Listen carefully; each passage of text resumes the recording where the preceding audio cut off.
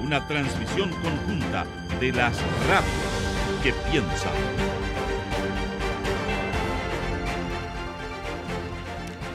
Continuamos con esta primera edición de Radio Análisis. Son exactamente las 9 de la mañana con 33 minutos en este día jueves 25 de enero del año 2024, completamente en vivo y en directo a través de todas las plataformas de Radio Universidad de Chile, la red de radios que piensan y las señales del canal de televisión Uchile TV. Bueno, a propósito del debate constitucional que se vivió el año pasado, uno de los temas que estuvo en la palestra fue la ley de aborto en tres causales, a propósito de esta eh, intención por parte de quienes eh, promovían el eh, nuevo texto constitucional de modificar algunos de sus aspectos que incluso ponían en riesgo la, la aplicación de la misma. Pero eso no quiere decir de que esta ley funcione tal cual como se al momento de, de que fuese eh, presentada y posteriormente aprobada. Eh, bueno, para precisamente monitorear cómo ha sido la implementación de esta ley es que vamos a conversar a continuación con la directora de Corporación Humanas, Camila Matorana, a propósito de un informe eh, correspondiente al monitoreo de la implementación de la ley sobre aborto en tres causales en materia de objeción de conciencia 2023. Camila, bienvenida acá a Radio Universidad de Chile, ¿cómo estás? Muy bien, muchas gracias. Encantada de estar aquí conversando con ustedes. Sí, vamos a hablar eh, respecto de este, de este informe, que, es bastante completo respecto de este tema, pero para entrar un poco en, en el contexto, ¿no? Y para que todos entendamos muy bien respecto de qué estamos hablando. Eh, ¿a, qué nos referimos cuando hablamos de objeción de conciencia y, y, cómo está también esto contemplado, por ejemplo, en el, en el derecho internacional? Bueno, cuando hablamos de objeción de conciencia es bien importante, justamente como tú dices, definir qué es nosotras entendemos que, y así lo explicamos, la ley te da un permiso para no cumplir la ley. Esa sería la forma más simple de, explicarlo. Y en Chile no está regulada la objeción de conciencia. No existía hasta la ley de aborto en tres causales. Únicamente en una situación muy específica, que ciertos parientes eh, varones de víctimas de crímenes de lesa humanidad eh, podían excusarse de realizar el servicio militar en base bueno, a la, al parentesco, ¿cierto? Pero ni siquiera la objeción de conciencia frente al servicio militar estaba regulada en Chile. Y aparece por primera vez esta figura jurídica en la ley de tres, aborto por tres causales en 2017. Y claramente, por lo que uno conoce de lo que ha ocurrido en otros países, en aquellos lugares en que se ha avanzado en la legislación y en las políticas para eh, proteger la autonomía y la decisión de las mujeres y las niñas, eh, las fuerzas opositoras o antiderechos fortalecen este tipo de, problemas o potenciales problemas como la objeción de conciencia. Entonces, siempre nos pareció que había, era algo que había que mirar con mucha atención. Y por eso, desde el 2018 en adelante, hemos venido monitoreando a través de la información que se solicita al Ministerio de Salud respecto de cuántos equipos contratados tiene y cuál es el número de esos equipos que se acoge o no a la objeción de conciencia según cada una de, de las causales. Y ahí nos encontramos, lamentablemente ya este por sexto año, que en los hospitales públicos es ampliamente invocada la objeción de conciencia, eh, especialmente por parte de los obstetras, en la causal violación. Es decir, es invocada la objeción de conciencia por parte de estos eh, obstetras para no intervenir en la interrupción de un embarazo cuando la causal invocada es la violación. Y eso nos parece eh, preocupante pensar que del total de obstetras que trabajan en hospitales públicos, funcionarios públicos, el 46% se acoge a la objeción de conciencia para no intervenir cuando una niña o una mujer eh, víctima de violencia sexual solicita la interrupción del embarazo. O sea, es como casi uno de cada dos. Y eso se ha mantenido en el tiempo. Eh, entonces, no es una situación aislada o, que, una fotografía de un momento. Es algo que ha permanecido en el tiempo, que se ha instalado. Y eso eh, lo encontramos preocupante, que se haya instalado de alguna manera en el tiempo que porque esto genera una eh, genera dificultad porque en promedio 40% puede decir, bueno, eh, no es tan alto, pero hay lugares en que la proporción es muy alta. Hay hospitales en que todo el equipo de obstetras se acoge a la objeción de conciencia o más de dos tercios. Y eso es el, como el foco de nuestra, de nuestra mayor preocupación, cuáles son esos hospitales que y cómo lo hacen, cómo resuelven la atención en, en cuando mm, una proporción tan alta como 67%, 70%, 85% se declaran objetores de conciencia. Ahora, eh, Camila, eh, ¿a qué atribuyes que ocurra esta, esta situación, que exista este porcentaje tan alto de, de, funcionarios que, que, se acogen a, esta, a esta objeción de conciencia? Es complejo em, eh, aventurar por qué ocurre tanto, pero hay altos elementos que uno puede poner como sobre la mesa, más que yo decir por esto ocurre. Una primera cuestión que es la que más no, no, nos disconforma, digamos, es cómo está regulada la objeción de conciencia. La objeción de conciencia, como se reguló en Chile con esta ley de tres causales, es de una manera eh, general. O sea, se pueden acoger a la objeción de conciencia los obstetras, los anestesistas, los, las enfermeras matronas y técnicos del pabellón. Eh, y para hacerlo no tienen que invocar ninguna, no tienen que señalar ni fundamentar cuáles son las razones de conciencia por las cuales ellos no van a participar cuando sea invocada la, la causal violación. Entonces como que parece un poco fácil que tú solamente llenas un formulario y dejas de hacer un procedimiento que eh, de lo contrario tendrías que hacer. Y eso creemos que, por una parte, eh, no se condice con el carácter excepcional de esta figura jurídica a nivel, como tú señalabas al principio, de, de los estándares internacionales de derechos humanos, y tampoco se condice con, con la seriedad que debe tener eh, acogerse a un beneficio de no cumplir la ley por razones de conciencia, cuando estás hablando de, eh, del derecho a la libertad de conciencia y religión. Como que es una situación un poquito seria para que solamente tú lo hagas por, por eventualmente comodidad eh, de no participar en un procedimiento. Ahora, también esto se vincula con eh, cómo está regulada los derechos y deberes de los objetores de conciencia y de los no objetores. Y esto es súper importante eh, y no se difunde demasiado y eso entonces genera que, que no se conozca no se pueda exigir. Lo que la, la regulación plantea es únicamente que yo me puedo excusar del procedimiento de interrupción del embarazo, pero de ninguna manera, por razones de conciencia, porque no comparta la decisión de esa mujer, puedo obstaculizar su acceso a la información negar un diagnóstico, eh, un tratamiento, una orden médica, eh, la atención post-intervención. Está regulado que únicamente lo que yo puedo dejar de hacer es la interrupción misma, pero todo el resto de la atención debe estar garantizada.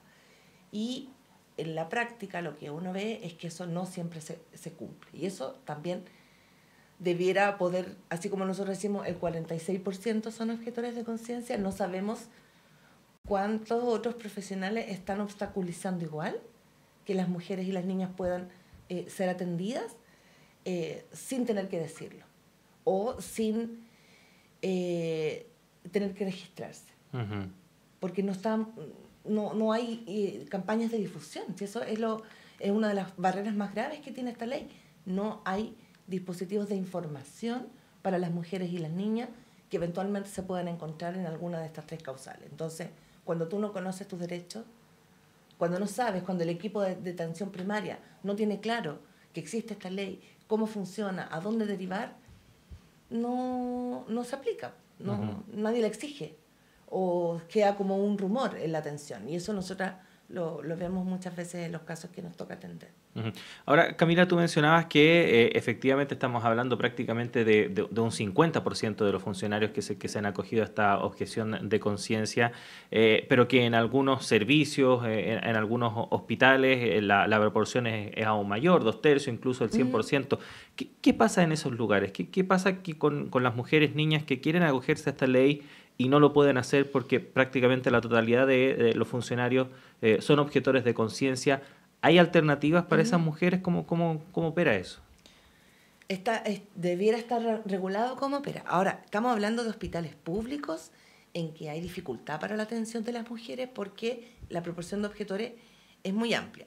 Y entonces aquí tienes, tú dices, bueno, entonces que, que apliquen los protocolos, que operen los protocolos. No estamos hablando todavía, eh, y ahí no hay, es bastante opaca la, la situación de las clínicas privadas que son, se acogen a la objeción de conciencia institucional, que es otro problema que tiene esta ley, que crea esta figura de objeción de conciencia institucional como si las clínicas privadas eh, tuvieran conciencia, ¿cierto? Y, em, y, y, esa decisión está ahí y como que se adoptó en el 2017, fue una decisión del Tribunal Constitucional, no del Parlamento, y luego nos quedamos con esa ley y nadie más volvió a hablar de que había que cambiarlo. Y eso también eh, nos parece preocupante porque luego tuvimos el proceso constituyente, como tú decías, y como que querían poner, eh, correr la barrera aún más allá, de ampliar, seguir ampliando la objeción. Nosotros creemos que no, que se debe mantener restringida y debe conformarse a estos estándares de carácter excepcional y de carácter individual.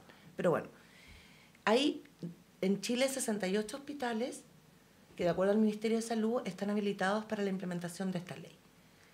Uno de cada cuatro de estos hospitales tiene más de dos tercios de obstetras objetores de conciencia en causal violación. Entonces es como, ojo, preocupación. Fuimos a mirar como un, como un, un, zoom de estos hospitales y ninguno tiene un protocolo, les preguntamos por solicitud de acceso a información pública, ninguno tiene un protocolo específico sobre objeción de conciencia. Hospitales que tienen más de dos tercios de objetores de conciencia. De estos 18, 6 no tienen un protocolo especial sobre eh, la ley de, tres, eh, de la interrupción voluntaria del embarazo, como que se guiaran directamente por la norma técnica. O si tienen protocolo local, el protocolo no dice ninguna frase, porque nosotros lo revisamos, no dice nada de cómo atienden, cómo resuelven este tema de Claro, la objeción de conciencia está reconocida por la ley, un, equipo, un profesional la puede invocar, pero ¿cómo ese hospital resuelve la atención de la mujer o una niña que requiere la atención? El protocolo no dice nada, en seis hospitales. Entonces, como tenemos dificultad, ¿no? es como que fuera muy opaca esta situación de cómo se resuelve. ¿Se resuelve cada día, discrecionalmente? No lo sabemos.